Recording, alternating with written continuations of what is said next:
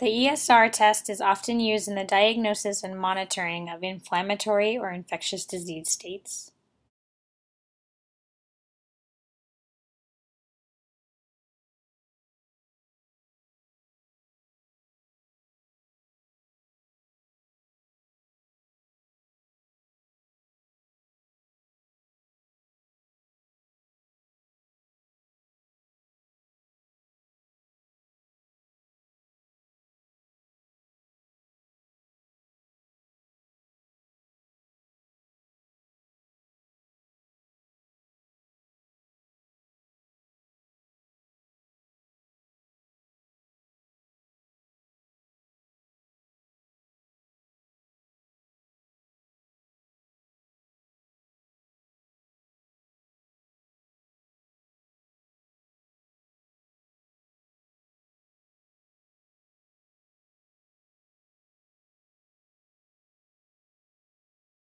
Once you have your EDTA sample transferred into your ESR tube, you're going to mix the sample very well.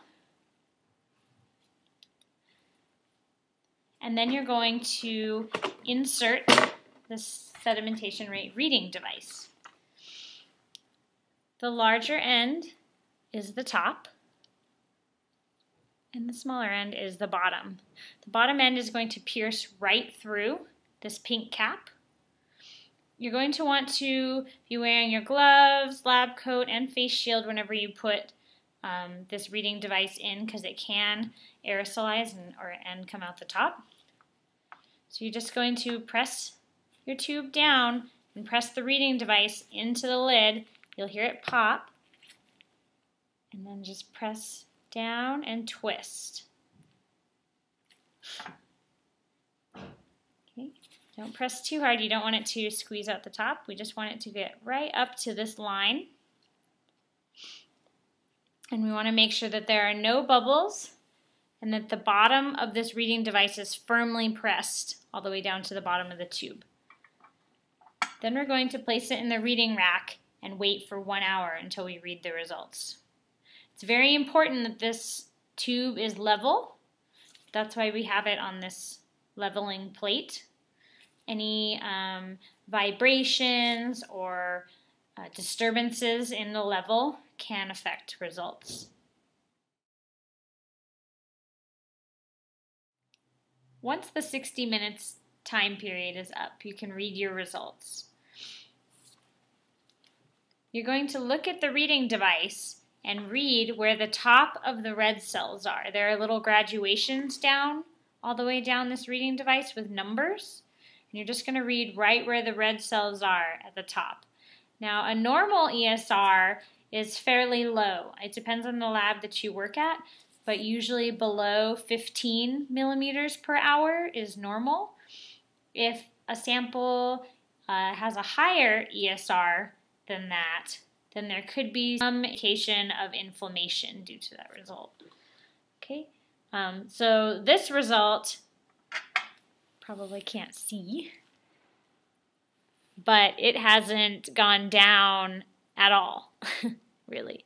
So we would just read that result as zero. But you can see that there's a 10, 20, 30. So as the cells fall down more, the result is read as higher. Okay and that is an erythrocyte sedimentation rate, or ESR.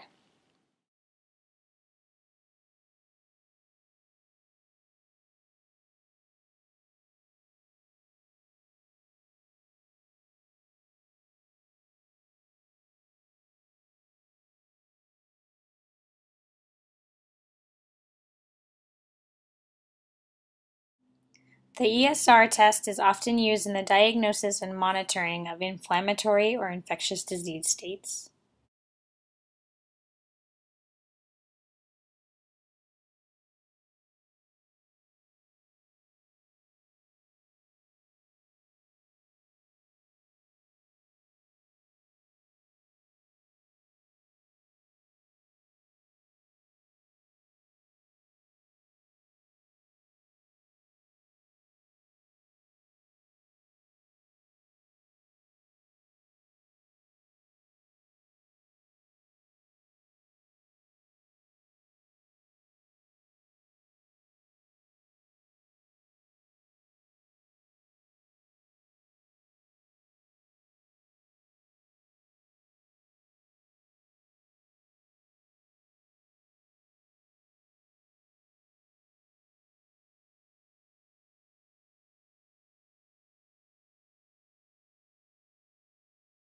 Once you have your EDTA sample transferred into your ESR tube, you're going to mix the sample very well.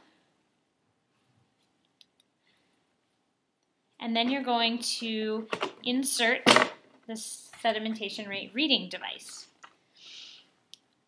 The larger end is the top and the smaller end is the bottom. The bottom end is going to pierce right through this pink cap. You're going to want to be wearing your gloves, lab coat, and face shield whenever you put um, this reading device in because it can aerosolize and, or, and come out the top. So you're just going to press your tube down and press the reading device into the lid. You'll hear it pop. And then just press down and twist. Okay, don't press too hard. You don't want it to squeeze out the top. We just want it to get right up to this line. And we want to make sure that there are no bubbles and that the bottom of this reading device is firmly pressed all the way down to the bottom of the tube. Then we're going to place it in the reading rack and wait for one hour until we read the results. It's very important that this tube is level. That's why we have it on this leveling plate. Any um, vibrations or uh, disturbances in the level can affect results. Once the 60 minutes time period is up, you can read your results.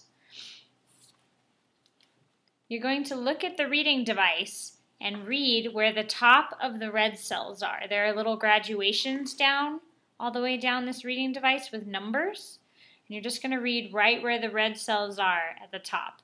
Now, a normal ESR is fairly low. It depends on the lab that you work at, but usually below 15 millimeters per hour is normal. If a sample uh, has a higher ESR than that, then there could be